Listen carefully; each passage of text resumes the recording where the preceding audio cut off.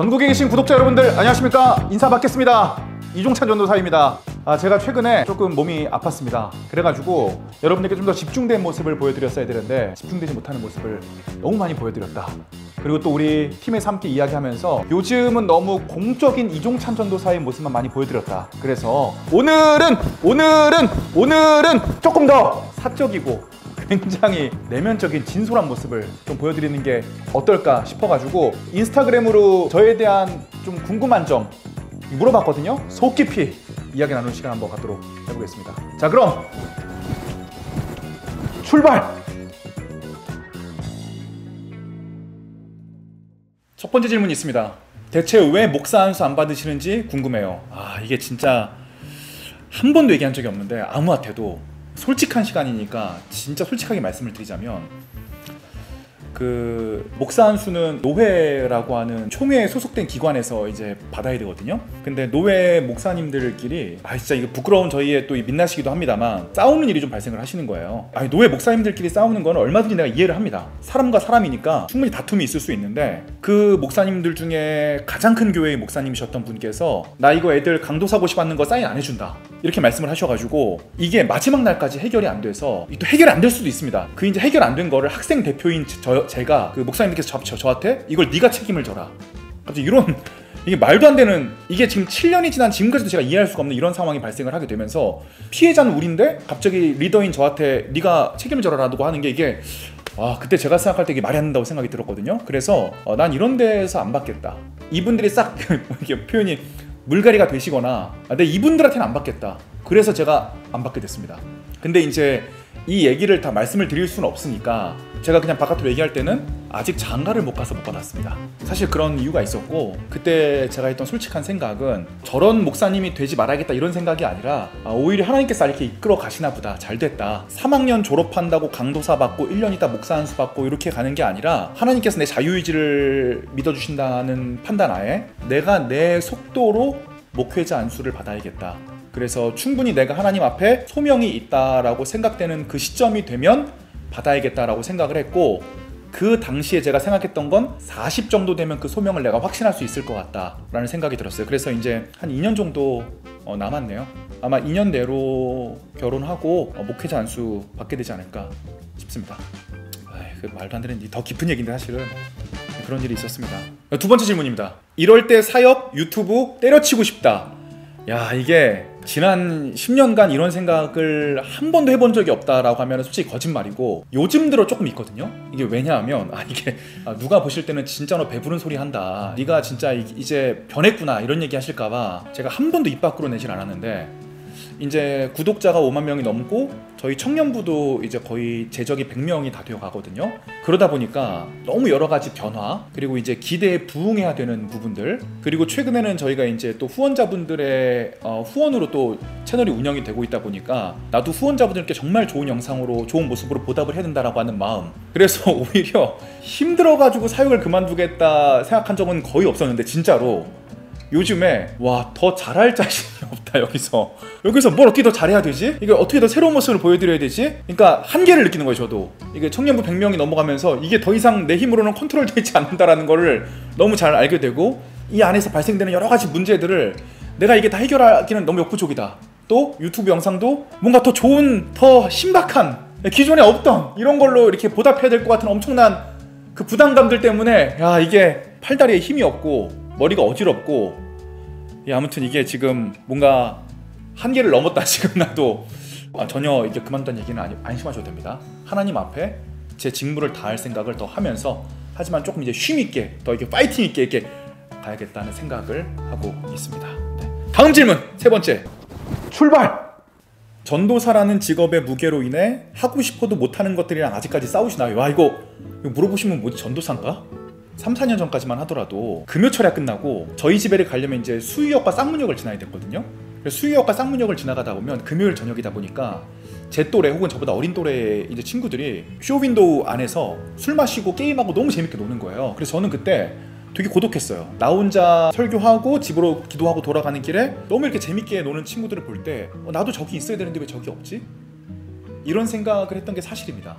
또 저도 사람으로서 어떤 욕망들이 있잖아요. 더 유명해지고 싶고 더 잘 되고 싶고 이런 게 어떤 굉장히 건강한 감정이라고 생각이 드는데 이런 건강한 감정이 자꾸 죄의식을 느끼고 이제 그런 거를 쳐내야 되고 이런 부분들이 굉장히 쉽지는 않았어요. 근데 이게 제가 최근에 재밌는 일이 있었는데 어떤 전도사님을 제가 봤는데 되게 잘 사시는 거예요. 너무 좋은 집에 막 냉장고도 집에 막 두세 대씩 있고 외제차를 끄시고 그러니까 이게 나쁜 게 아니지 않습니까? 그리고 제가 그분과 잘 아는 사이기 때문에 이해도 가고 공감도 가고 왜 저런 상황이었는지도 너무 잘 알겠고 근데도 뭔가 되게 아, 좀 이상한 거예요. 되게 되게 좀 이상한 거예요. 그래서 제가 그때 뭘 알게 됐냐면 아 내가 이렇게 다 모든 걸 이해하는데도 불구하고 이상한 감정을 느낄다는 게 사람들은 기독교인이나 목회자에 대해서 어떤 기대감이 있구나. 그러니까 우리는 욕망대로 살아.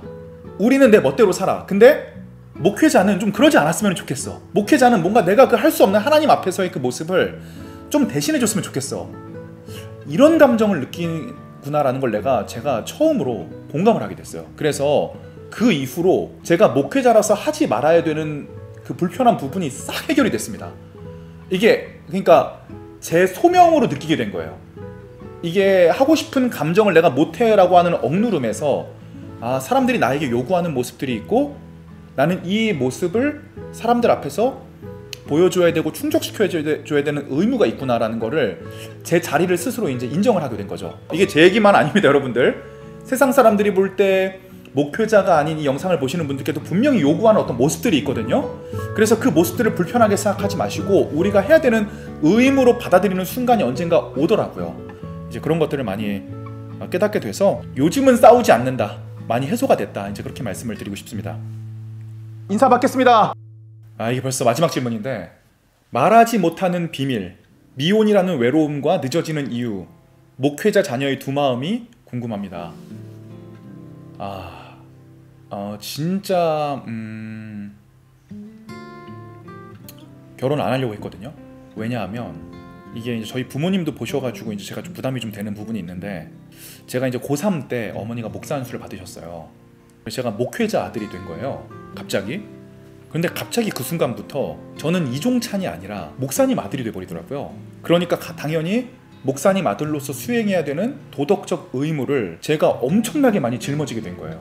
그리고 누가 저를 소개해 주실 때도 더 이상 이종찬이 아니라 목사님 아들이잖아. 우리 목사님 아들이야. 뭐 이런 이런 이런 식으로 소개가 되니까 뭔가 더 잘해야 될 것 같고. 그래서 제 친구들 중에 목사님 아들인데 진짜 이상하고 좀 그렇지만 이게 쓰레기 같은 친구들이 많았거든요. 그 친구들 마음을 좀 이해하게 됐어요. 그 친구들은 이거를 어렸을 때부터 경험을 했던 거예요. 그러니까 도덕적 이렇게 짐을 지게 되니까 엇나가게 되는 거예요, 애들이. 또 목회자가 이제 청렴하게 살아야 되지 않습니까? 그러니까 나는 내 선택으로 청렴하게 사는 건데 내 아내와 내 자녀는 무슨 죄를 지었다고 도덕적 직무 속에서 청렴한 삶을 강요받아야 되는가 에 대해서 제가 굉장히 고민을 했고 내 아내와 내 자녀에게 정말 잘해주고 최고의 것을 맛보게 해주지 못할 거면 나는 안 하겠다. 혼자 하나님 일 하면 살면 된다. 이제 이런 생각을 많이 했었던 게 사실입니다. 이제 그런 부분이 있었는데 그것이 나의 교만이었다. 제가 아내에게 제공을 해줘야 되는 게이말 표현이 이상한데 돈이나 어떤 사치스럽거나 어떤 호화로운 건 아니구나라는 걸 깨닫게 됐어요. 진짜 내가 예수님 안에서 그녀를 사랑하고 남편으로서의 의무를 다하고 이 부부 사이에서 연인 사이에서 돈으로 해결해 줄 수 없는 완전한 일체감들 그리고 어떤 하나님 안에서 우리의 욕망과 어떤 그런 것들을 이기고 하나님께로 갈 수 있는 어떤 목회자만 할 수 있는 독특한 어떤 경험들을 함께 공유해 줄 수 있다면 함께 가는 그 길이 정말 의미가 있겠다라는 생각을 제가 1차적으로 하게 됐고 2차적으로는 내가 밥을 굶기지는 않겠구나라는 확신을 갖게 됐습니다. 그래서 일단 결혼까지는 제가 마음이 좀 열린 상태인데 솔직히 아직 자녀까지는 모르겠어요. 예. 이제 그래도 제가 저랑 결혼하실 분이 있다면은 그분은 자기의 의지로 저와 결혼할 걸 선택하신 거지만 또 자녀는 어 이제 그게 아니기 때문에 자녀에 대해서는 아직 좀 이렇게 생각을 좀 더 해봐야겠다라는 생각이 있습니다. 어, 마지막으로 제가 제가 요즘 겪고 있는 솔직한 속마음을 말씀해 달라 달라고 하셨는데 솔직히 말하자면은 이제 더 이상 뚫고 나아갈 어떤 힘이 없다. 가 이제 진짜 제 속마음입니다. 그동안 10여 년 가까이 정말 열심히 일하면서 변화하면서 한계를 넘으면서 여기까지 왔는데 어, 이제는 도저히 내가 좀 갈 힘이 없다. 라는 게 저희 속마음이고 이제 하지만 그럼에도 불구하고 계속적으로 가야 한다는 사실을 알고 있기 때문에 어떻게 가야 할까가 저의 굉장히 주된 요즘 테마고 음, 아 이게 지금 진짜 솔직하게 말씀을 드리면 이 뭔가 교회 상황을 보고 유튜브 상황을 보고 하더라도 하나님께서 나와 우리에게 원하시는 게 여기까지는 아닌 것 같다는 생각 너무 많이 들거든요. 그러면 하나님께서 저와 우리 교회와 유튜브에 더 큰 비전을 갖고 계시면 저도 더 그 큰 비전에 맞게 변화를 하고 싶기 때문에 어떤 지금까지의 작은 성공의 법칙을 앞으로도 계속 유지하는 게 아니라 뭔가 다른 패러다임을 원합니다. 그래서 그 패러다임대로 더 변화하고 싶은데 그럴 힘이 없어. 그럴 힘이 없어 진짜. 그래가지고 아, 이제부터는 조금 더 이제 기도원회를 자주 가야겠다 이런 생각들을 하고 있는 도중이고 어떻게 보면 또 배부른 소리 같기도 합니다. 왜냐하면은 이게 조금 지금 여유가 나니까 이런 방심을 할 수 있다는 걸 제가 또 잘 알고 있고 아, 그래서 또 이렇게 말씀드리다 보니까 힘이 나네요. 다시 한번 우리 구독자분들 거리 청년부 친구들에게 계속 이제 이 길을 갈 것을 더 약속을 드리면서 피투 성의가 되어 있어도 서 있을 것을 좀 약속을 드리면서 오늘의 Q&A는 또 마치도록 하겠습니다. 저도 다음 영상으로 돌아오도록 하겠습니다.